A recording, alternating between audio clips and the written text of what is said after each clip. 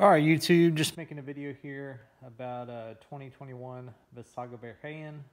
I haven't seen one on the old interweb, so I figured I would make a quick video, kind of show some of the highlights of the frame and the spec uh, for those that are interested. Uh, the one I have here is the size medium.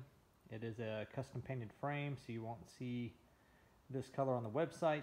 Uh, Vesago does offer uh, custom paint options and solid colors. I think they have seven or eight different color options. Um,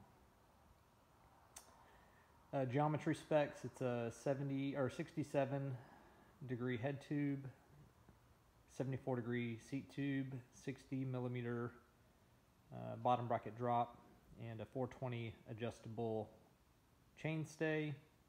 Has a 44 millimeter head tube, 31.6 seat tube, uh, boost uh, front and rear, and uh, internal dropper post routing. Everything else is external, so brakes and shifter if you were to have a shifter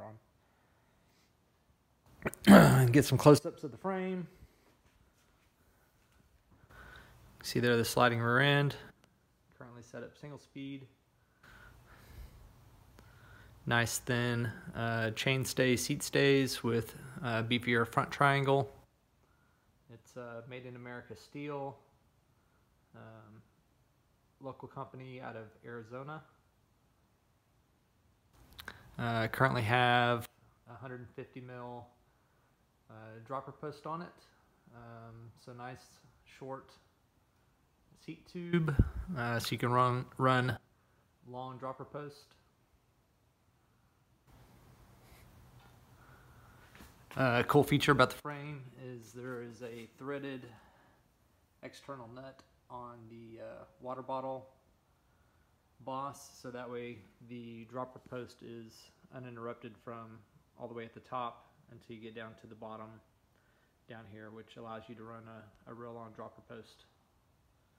Um, three bottle cage mounts, two inside the triangle and then you got some bosses on the bottom side for a tool roll or a water bottle or whatever you choose to put down there. Uh, threaded bottom bracket.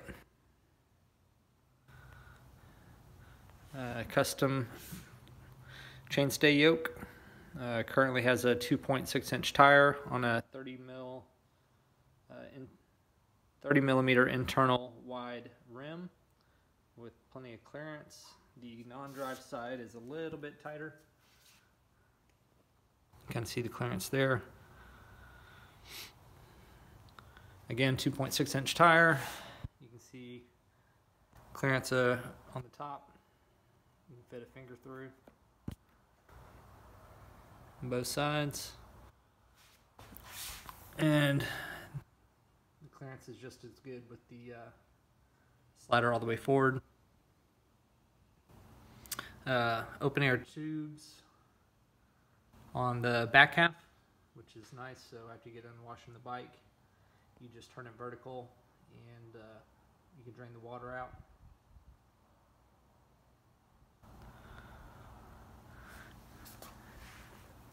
So you have your braze-ons here for your shifter cable.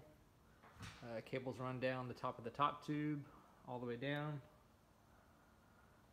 And then uh, your shifter cable would run right here on the outside. Then your cable would loop out and around the back to your derailleur.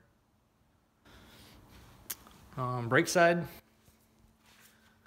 on the dropout hardware, it's uh, set for 160 mil rotor, which is what I have on there now.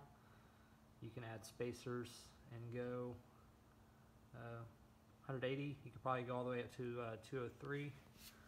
Plenty of clearance for rotor with a nice wide rear end. Picture on the non-drive side. Bottom bracket yoke area. Nice clean welds.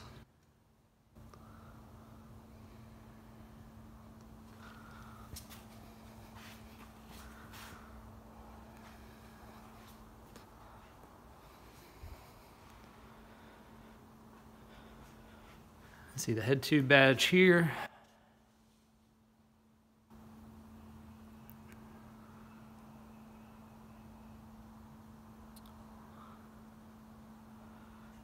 You see the uh, dropper post routing. That's a nice little uh, rubber cover for the hose. Cable routing's pretty nice. Kind of sweeps out and away from the head tube. The rear brake hose does sit close on the bottom side. And I just put a little piece of foam right here so that way when it does bounce going down the trail, it just kind of deadens the sound. I have it set up with a 120 mil Fox 34 step cast fork with a 2.4 inch tire in the front. Normally I run a 2.4 inch tire in the rear, but I needed a tire in a pinch and the 2.6 was all the shop had available.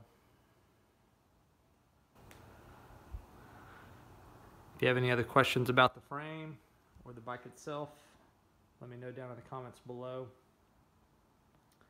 This is the second steel hardtail I've had, and uh, it rides really nice, very compliant. Definitely smoothens out the trail. I've had carbon bikes that'll are super lightweight but beat you up. I've had aluminum bikes that were pretty lightweight and beat you up as well. And this steel frame rides really nice.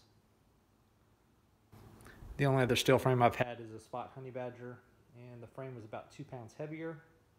Um, it rode more compliant, but the frame itself was a little flexy, but also very comfy.